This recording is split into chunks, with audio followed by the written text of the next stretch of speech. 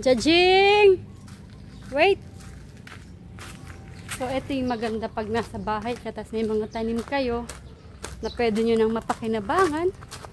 Bukod sa tanglad, pwede rin sa tanglad. Tapos, meron ka pang, ayan o, meron ka pang makukuhang, ano, kamyas, saging. So, ayan, kukuha ko ngayon ng kamyas. Bukod sa mga saging, ay, pasensya nyo na yung kanilang itsura ng mga saging. Umulan, malakas yung ulan. So, ayan, saging. So, ito kamyas. ba? Wow, kamyas, kamyas, kamyas, kamyas, kamyas. Ano yan? O, 'di ba? Yan ang ulam for today.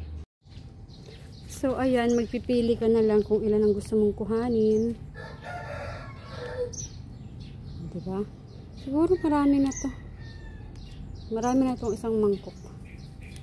Pero di ko lang sure. Pero, syempre, damihan na natin. Kaysa sa bumalik ako, ay nalaglag siya. Ay, nalaglag. Mm, diba? So, isang ganito na. Pero feeling ko, magdadagdag pa ako. Siguro mga ilang peraso, mga tatlong ganyan. Tatlong peraso pa. So, guys, napakasimple lang ng ating ingredients. So, ito lang sila. Kamyas. Yan. Isang, isang basong kamyas. Ayan siya. Isang basong kamyas. Where are you? Isang basong kamyas, sibuyas, tsaka siling green. So, yun ang ating ingredients for today's video.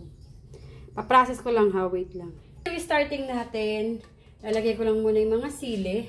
Kita nyo ba? Sibuyas at tsaka yung kamyas. Nakamix lang sila. Lalagyan ko pa pala to ng luya. So, ito yung pinaka-beddings nila ng isda. Tapos luya pa pala. Tsaka kamatis. So, yun ang ilalagay. So, ito na yung kamatis, sili, at tsaka yung kamyas. Siyempre, yung luya. Ayan. So, yan yung kanilang beddings. Lalagay ko ng isda. Isda, isda. So, unahin ko yung ulo. Gusto ko yung ulo, ano, dito. Sa ilalim, para yung, yung sabaw niya talaga makuha yung lasa talaga. Tapos, syempre, yung bankata. Ito, isda. Yan siya. So, yun. Tatlong peraso ito. Tapos, lalagyan ko siya ng asin. Titimplan ko siya ng asin. Maglalagay rin ako ng konting patis. So, asin. Uh -huh, asin. Tapos, konting patis. 4 tablespoon na patis. Tapos, timplahan, pagkatapos matimplahan, pagkatapos nyo matubigan, pag kumulo, pag pwede nang tikman, tikman nyo, control nyo yung alat. Siyempre, lalagyan din yan na tubig. So, 1 cup of water. Depende din kung gusto niyo ng masabaw. Sagdagan nyo. So, mga 2 cups of water yung sa akin. Para, parang masarap maghigop-higop ng sabaw. Once na ganito yung panahon yung malamig. Ulan.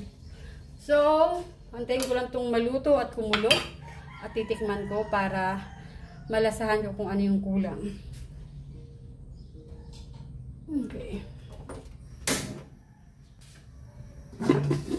Takip. First the takip. Takip. Antayin kumulo. Alam nyo ba guys, na kung nandito kayo, matutuwa kayo kasi ang sarap ng kanyang amoy.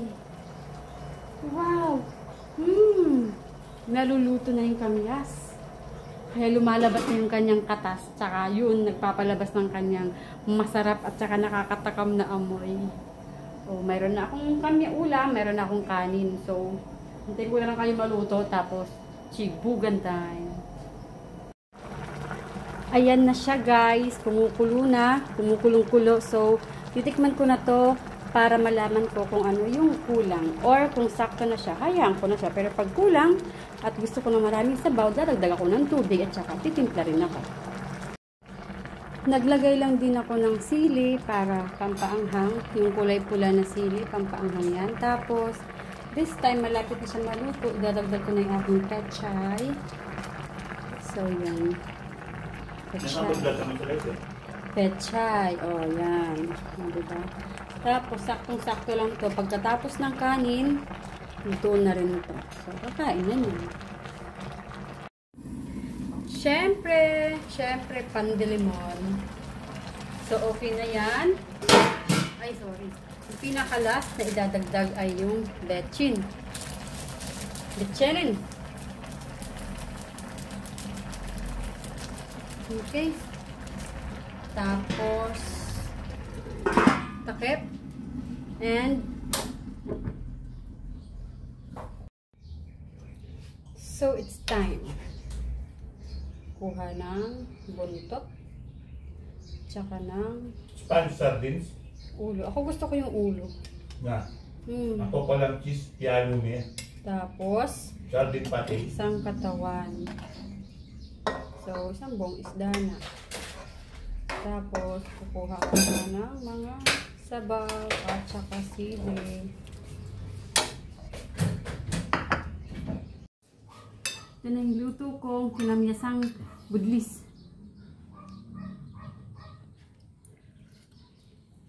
Wow! Yaman. Sarap nito. At kukunin ko yung iki. Lamang pa nito talaga naman. Masarap na masarap na. Init. Purong laman yan. Tapos kukuha ko ng sabaw.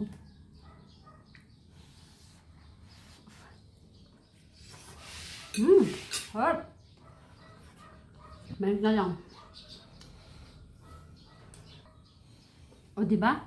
Napakasimple lang yung ginawa ko. Nilagay ko ng, nag-slice lang ako ng mga ingredients. Pagkatapos, nilagay ko lang sa kawali. Tapos, itinatong ko na yung isda. Nilagyan ko ng asin, tsaka kapatis, tsaka tubig. Tapos, naging masarap na na ulam. Ganun lang siya kasimple, guys. Inantay mo lang siya maluto, tinigman, tapos approve na approve na yung lasa. Kaya, ito na yung ulam namin for lunch. Sana kumakain na rin kayo kasi ako rin ay kakain na. At ako ay magpapaalam na para ma-enjoy ko to. Bye-bye! Mangan! Mangan!